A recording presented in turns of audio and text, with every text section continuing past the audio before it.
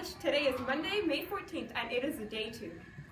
I'm Devanshi, and this is my co-host Nishida. Here are the news for today.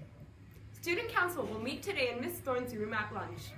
Beginner fitness class will meet in the fitness room today at 3.30. Eco YOLO and Eco Amigos will both meet in Miss Moody's room after school. Badminton athletes, don't forget our party on Tuesday. If you need more information, see one of the coaches. The library will be closed today.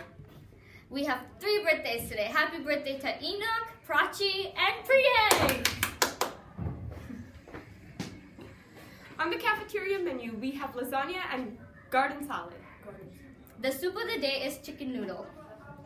Want pizza and frozen yogurt?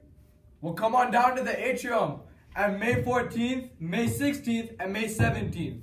Don't be alone and get yourself a cone from the zone. The pizza is $2 for a slice, and the frozen yogurt is $1 per scoop.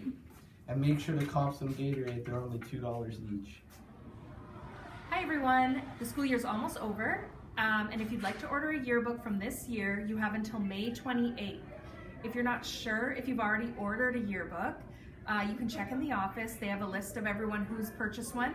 But if you want to remember your school year at McTavish, it's a great way to do that. They're only $40, so make sure you visit the office and pick up your yearbook before May 28th. Thanks! I appreciate Mr. Pollard because he's a great teacher and he's also a beast. Hey everyone, ha- happy Monday. There are 22 days left of school. Not that any of you are counting.